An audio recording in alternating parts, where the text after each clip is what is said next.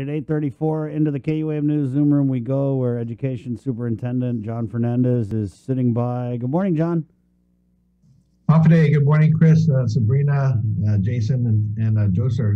Good, good to see you guys again this week. Yeah. Um, Good morning. there's definitely a couple things. Uh, well, there's always so many things going on with DOE, uh, but I just kind of wanted to start with. Uh, s- I, I believe we ran a story on the uh, three break-ins that have occurred up at BP uh, Uh, back-to-back this week. They got broken into last week. Uh, we're also hearing uh, as as well, Jon. And this is this is nothing new, right? Um, but it's something that maybe we didn't hear as much of during uh, the pandemic. But I guess we'll just jump right to what a lot of people probably feel is the solution with the security cameras, and just I guess your reaction on these break-ins and what we can do to uh, kind of mitigate this thing in the future.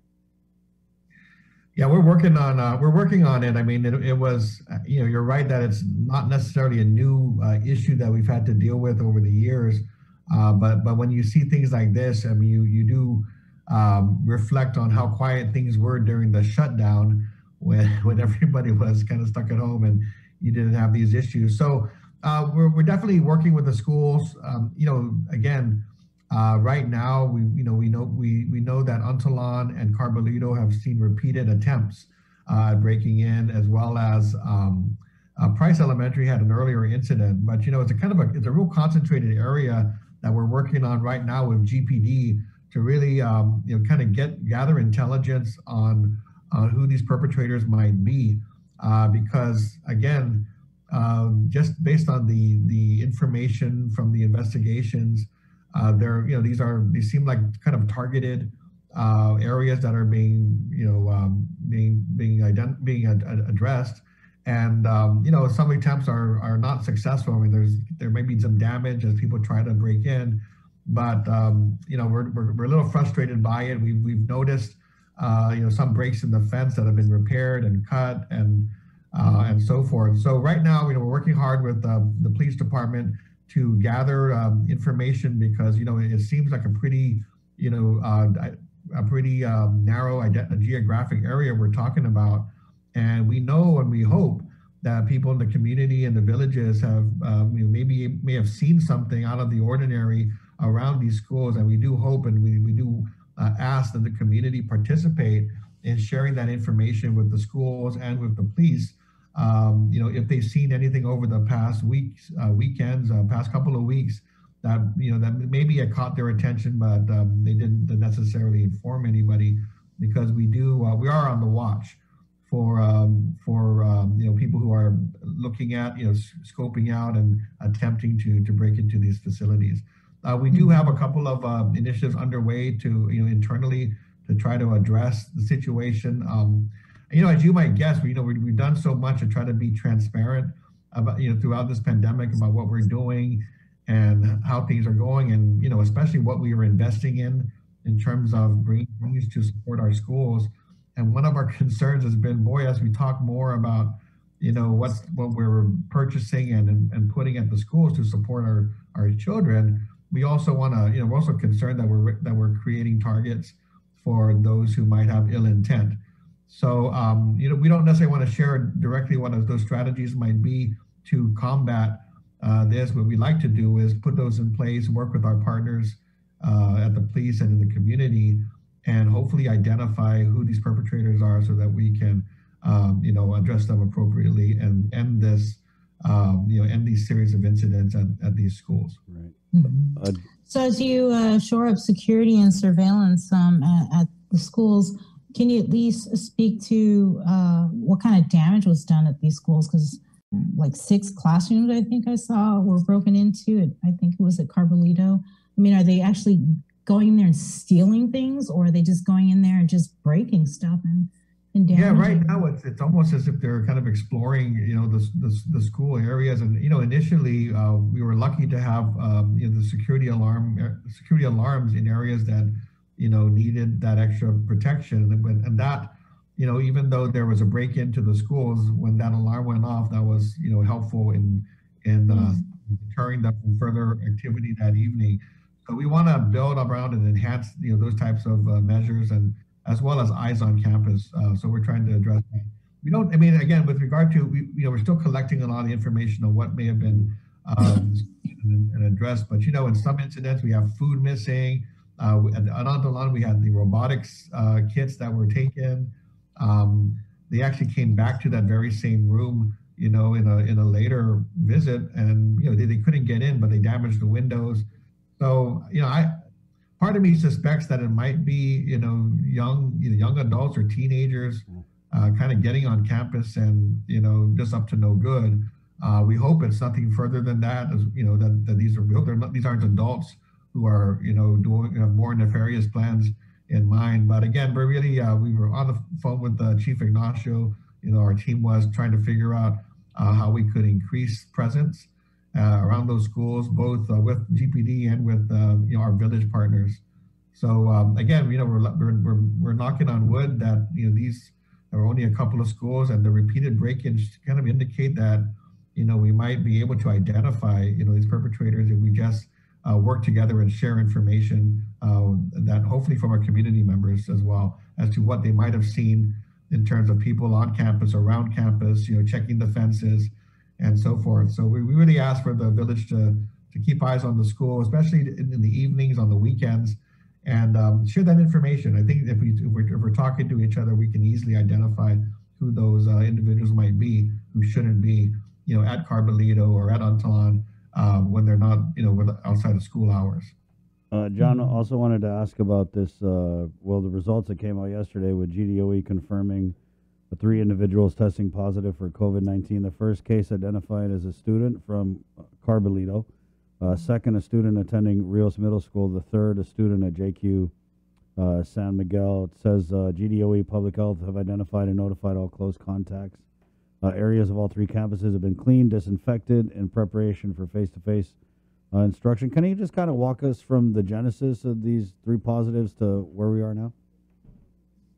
Well, you know, I think the the issue with uh, a positive at schools is that if you see as you see uh, the numbers, you know, fluctuate in the community, you know, you can anticipate that you might see that mirrored in our schools. And uh, you know, we're lucky that we've only seen a few incidents here and there, and these incidences might affect one child or one household, but um, you know, we haven't seen any evidence of spread within the school campus. We typically uh, see associated with a household, you know, with a household case that might be affecting the family. And once we identify um, the, you know, the children, uh, we're able to quickly, you know, mitigate, um, you know, go through the contact tracing, identify parents, teachers, you know, and, and address, uh, you know, take the, take the measures we need to, to prevent any spread of COVID-19. What's assisted us in these cases has been the fact that, you know, we still are on an alternating schedule mm-hmm. with students coming into school. So I think that's assisting us right now and, it, and, it's, and it's allowing us to really reinforce the mitigation measures. Uh, but it's something that we're going to have to really focus on when kids come back to school for more than one day um, you know, a week. So we're going five days a week. That's when we're going to really have to buckle down and pay attention to the numbers and and our and our mitigation measures. But but so far, you know, you can definitely anticipate, and and what we've seen is that these cases that you're seeing in school are typically associated with cases that are happening in the family and at the household. And you know, the fact that they're a student and our nurses are being notified um, doesn't mean that it's happening at the school. It just means that we have to prevent any any spread. I've been really happy and, and, and feel very confident in the measures that are being taken at the schools, um, not just um, because we put the plan together and tried to reinforce it, but I've been out there at the schools and I've just been very pleased to see how the kids are, are you know, behaving on a, at the school site. You know, we have this vision that kids are just going to be running around, not listening to the teachers, face masks off. But you know, you, you if you reflect on it, you you'll see that kids really follow the rules. The most of them are going to be following the rules. You've got adults there reinforcing the rules.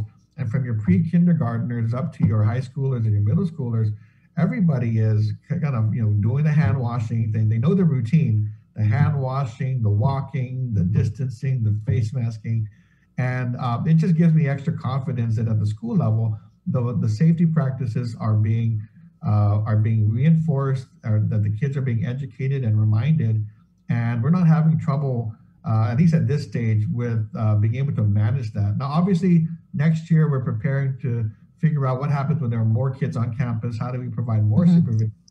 But when it comes to uh, looking at our mitigation measures, when we do have a case, uh, what public health does when they come in and try to identify contacts, it really is a very narrow circle because of the way we're operating in school. So I think that's uh, you know really good news, and I'm, I'm glad to have seen that. And I tell them, I said, you know, it's not the kids I'm worried about anymore. I mean, the kids are just following directions really well. Uh, I mean, it's a, it might be sad to, to say this, but they they've adjusted to this kind of new normal probably much easier than many of us adults have, Right. um, especially Mhm. outside in the community. So, Mhm. um, so again, we see these cases. These are isolated cases.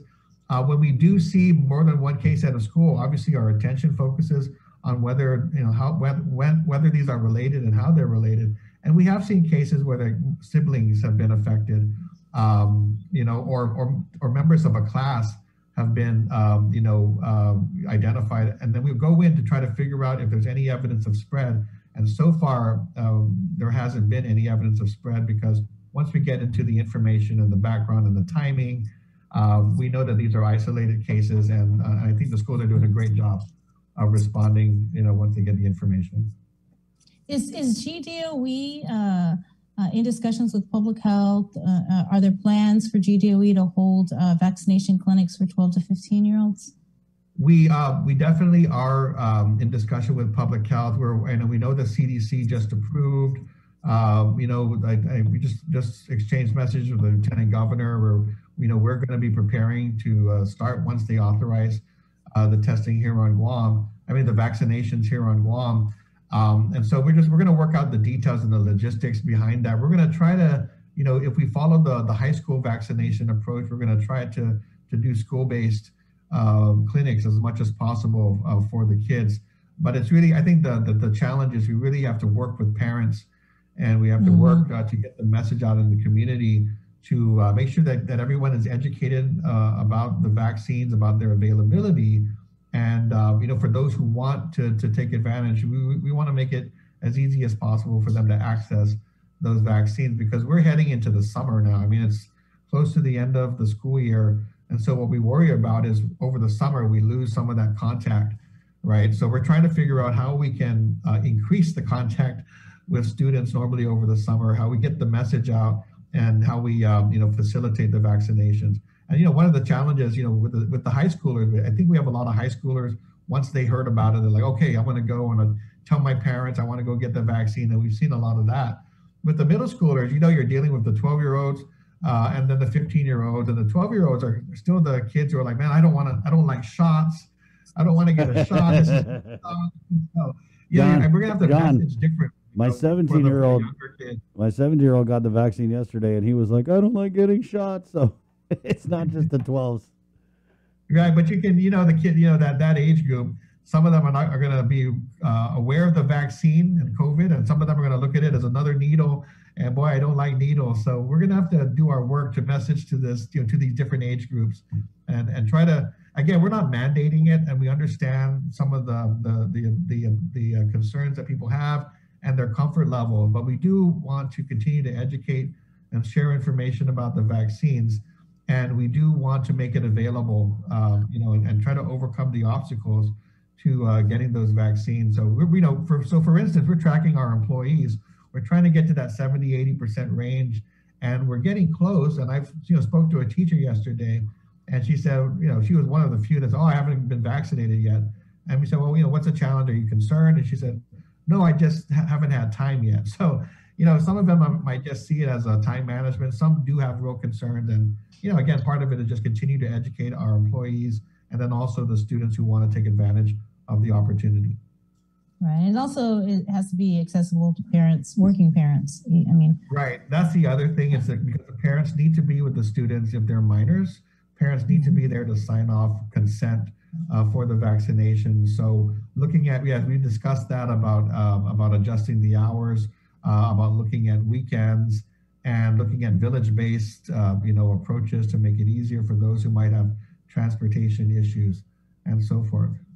So yeah, we're we're we're in that stage of just active discussion, um, preparing for the announcement for the middle schoolers.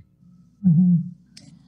Um, anything on the two hundred eighty-seven uh, million dollars in ARP funds? Uh, there was a, a informational briefing earlier this week, but there was something wrong with the the feed, so we couldn't uh, watch it.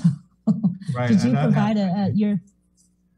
I know that was hopefully very un- unintentional. That, but we have the information that we're well. We basically what we said to the what we said to the legislature is that we are anticipating finalizing our proposal around May 21st, and we spent a lot of time with the school stakeholders, uh, with the with the you know private schools, with the charter schools, with our schools, trying to put together uh, a list of items of the of requests needed to ensure that we can sustain you know, uh, a safe environment for for our kids uh, to come back to school uh, as, as we emerge, hopefully emerge from this COVID-19 pandemic. So, you know, as, as I said before, you know, a lot of our focus of the first round of funding, ESF one, was a lot about about health and safety and immediate supplies and the shift to distance learning. So we started that with the PPEs and the investment in technology for more laptops, et cetera. You know, round two was looking at reopening. So what do we need to do to start facilitating the reopening of schools? And round three is now going to be how do we sustain those safe school environments? So what I can say at this point is that, you know, first of all, 20% of these funds have to be dedicated to learning recovery. So it is going to, these are things going to, that are going to be in the classroom and out with our community partners to invest in our, in our, um, you know, trying to catch kids up uh, from, from the, you know, from the impacts of the, of the pandemic. And then the remainder, a lot of that remainder, will, will- a lot of it will be invested in capital improvement projects uh, to shore up our facilities. So um, I, I was asked, you know, if I could identify some of those projects, and I didn't, I didn't want to do that at the at the hearing because we haven't finalized it. And you know what happens when you start announcing these projects? If anything changes, you're still held to that. Uh, so we said, look, yeah, May 21st is our anticipated date for putting pens, you know, pencils down and finalizing a, a proposal that we can then send to you as DOE, share with the board, share with the legislature and the general public. Uh, but I would anticipate you'll see, again, you'll see a, a significant amount uh, targeting our, our facilities on Guam, as well as, uh, you know, targeting learning, uh, the learning recovery efforts that'll be, uh, be needed as part of our, uh, you know, our recovery from the pandemic. All right, Jon. All right. Well, thanks, Jon, for the uh, the updates. No, no, thank you. And I know you were, you know, early on, I mean, yesterday I was down south, so I just Yeah, wanted to let yeah. you know that. Um, you know, I know you mentioned uh, early on before the, in- during the break, uh, the empanada. So if you want to ever tour the schools down south, it's also, they also help you with that empanada tour. So I tried different variations yesterday and, you know, I'm just kudos to the South for the hospitality, our Southern schools. And then, um, and again, I then I heard, you know, the, I know that uh, Joe Sir is really pushing that crispy patas, uh, therapy for, uh, COVID-19. So when that gets approved by CDC, please let me Yeah, know. yeah. Hey, if you can survive crispy patas, you can survive anything. Thank you, Jon. forward to that. thanks. There you go. Hey, yep, yep. I gotta say, Southern empanadas, tops, no cap. We got a shout out from the soup. Yeah, we did. Um, Joe Sir did. and what he's kind of referencing is we showed him during the break, guys. We kind of, you know, just been dabbling a little bit because, you know, obviously, look at me. You know, I love Oh, the you Chamorro guys. empanada. Sorry, Brie, again. Oh, and there just happened to be a couple lumpia just for good measure. Just a couple turon thrown in. Yep. This for my Kababayan right there, the Kababayan cam. And these are the these are the uh, Filipino empanadas with, with the ground beef in it, right? There you go, very low fat. Uh, 852. Let's keep it in the KUAM News Zoom room. Jay, you want to jump in on this one too? Uh, where we have the uh, president of the Guam Visitors Bureau, former Governor uh, Carl Gutierrez, who's also the permitting czar.